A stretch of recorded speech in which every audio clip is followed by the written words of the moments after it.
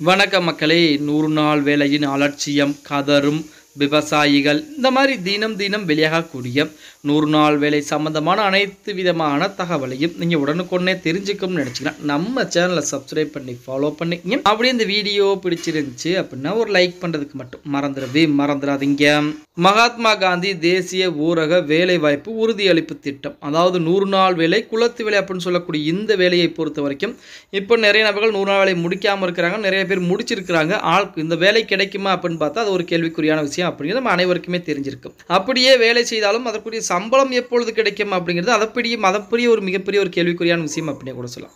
இப்படிப்பட்ட சூழலில் நூறு நாள் வேலையை பொறுத்த வரைக்கும் கடைசியில் விவசாயிகள் தான் கதறிக்கொண்டிருக்கிறார்கள் அப்படிங்கிற மாதிரி தகவல் வெளிவந்திருக்கிறது நண்பா. இப்போ இந்த நூறு நாள் வேலை தொழிலாளர்களை பயன்படுத்தி குளங்களையும் ஏரிகளையும் சுத்தப்படுத்துவது தூர்வாருவது அதுவும் நீர்நிலைகளுக்கு அதிக முக்கியத்துவம் கொடுத்து வேலை பார்த்தார்கள் ஒரு காலத்திலே அப்படிங்கிற தகவல் நம்ம அனைவருக்குமே தெரியும். அப்படி வேலை பார்த்து அந்த குளங்கள் பூராமே தற்போது பார்த்தீங்க அப்படின்னா ஒன்றுமே தண்ணி எதுவுமே இல்லாமல் வறண்டு போய் சுத்தமாக அதாவது தன் மழை எவ்வளவு பெய்ந்தாலும் தண்ணீர் வர முடியாத ஒரு சூழ்நிலை தான் இருக்கிறது அப்படிங்கிற மாதிரி தகவல் வெளிவந்திருக்கிறது. ஏன்னா அந்த நூறு நாள் வேலையை பொறுத்த வரைக்கும் எப்படி பார்த்தார்கள் அப்படிங்கிறது நம்ம அனைவருக்கும் தெரியும்.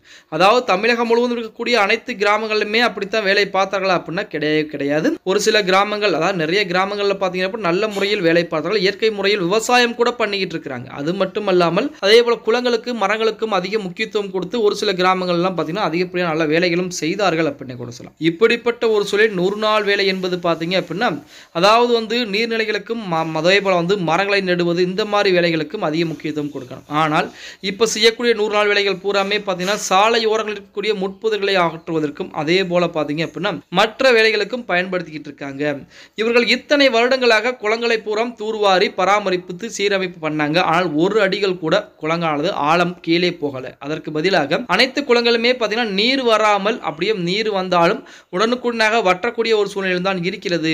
இதற்கு பதிலாக அந்த நூறு நாள் வேலை தொழிலாளர்களை பயன்படுத்துவதற்கு பதிலாக இயந்திரங்களை விட்டு குளங்களை பூரா தூர்வார வேண்டும் அப்படின்னு சொல்லி விவசாயிகள் பார்த்தீங்க அப்படின்னா தற்போது கோரிக்கைகளை வைக்க ஆரம்பிக்கும் ஏன் அப்படின்னா குளங்களில் தண்ணீர் இருந்தால் மட்டும்தான் நிலத்தடி நீர்மட்டம் எப்பொழுதும் இருந்து கொண்டே இருக்கும். குளங்களிலே தண்ணீர் இல்லை என்றால் நிலத்தடி நீர் மட்டம் நாளுக்கு நாள் கீழே போய்க்கொண்டே தான் இருக்கும் அப்படின்னு கூட சொல்லலாம். ஏன்னா இப்போ வெப்ப அலை வீசுகிறது.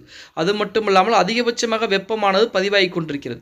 இந்த இரண்டு மூன்று தினங்கள் மட்டும்தான் மழை பெய்தனால பார்த்தீங்க அப்படின்னா வெப்பம் ஒன்றும் நம்மளுக்கு தெரியல. இல்லை அப்படின்னா இரவானாலும் சரி பகலாலும் சரி வீட்டுக்குள்ளே இருக்க முடியாத ஒரு சூழலை உருவாக்கப்பட்டிருக்கு. இப்படிப்பட்ட சூழலில் எங்கேயுமே எந்த குளங்களிலுமே தண்ணீர் கிடையாது.